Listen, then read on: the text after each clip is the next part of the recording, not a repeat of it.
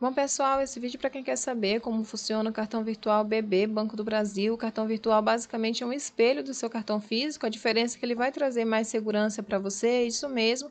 Ele vai possuir um número diferente, a data de validade diferente, o código de segurança, que é o CVV, que são aqueles três dígitos que geralmente você encontra no verso do cartão, também vão ser diferentes. Então, significa que se, por exemplo, você fizer uma compra em um site online e colocar essas informações, se depois você quiser voltar no aplicativo excluir esse cartão, você consegue excluir sem ter impacto nenhum no seu cartão físico. Então, isso vai evitar que, se você tenha colocado seus dados em um site não seguro, que aquele site consiga utilizar suas informações. Então, você pode criar o cartão virtual, utilizar para uma única compra e depois você pode excluir aquele cartão virtual. Por mais que você tenha inserido lá a numeração no site, a data de validade, o CVV, não tem problema, porque quando você gerar um novo cartão virtual, esses dados vão ser diferentes, tá? Agora, o limite que você tiver no seu cartão físico, ele vai ser compartilhado. Quando você cria um cartão virtual no Banco do Brasil ou em qualquer outro banco, não vai duplicar o seu limite. Então, por exemplo, se você tem um limite de dois mil reais, você pode utilizar esses dois mil reais, seja com cartão virtual, seja com cartão físico. Aí fica a seu critério. Ah, utilizou mil reais no cartão virtual.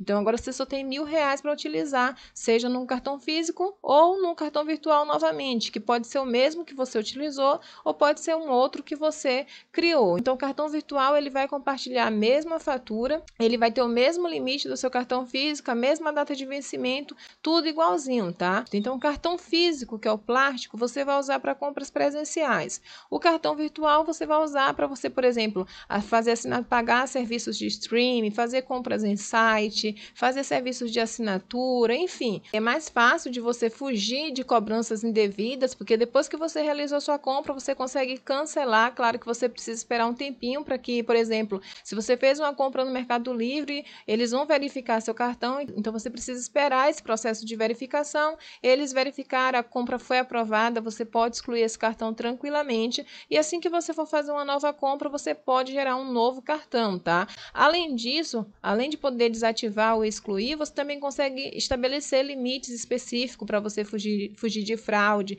Você consegue bloquear compras recorrentes através do cartão é, virtual. Então, ele traz mais segurança para você do que o cartão físico. Então, o cartão virtual, basicamente, pessoal, é uma forma que os bancos encontraram de trazer mais segurança para você. Então, é isso aí. O cartão virtual ele é criado para você utilizar em compras online, o cartão físico para você utilizar em compras presenciais. Espero ter ajudado. Quem queria saber como funciona o cartão virtual BB, se ajudei, não se esquece, me ajuda também. Se inscreve no canal.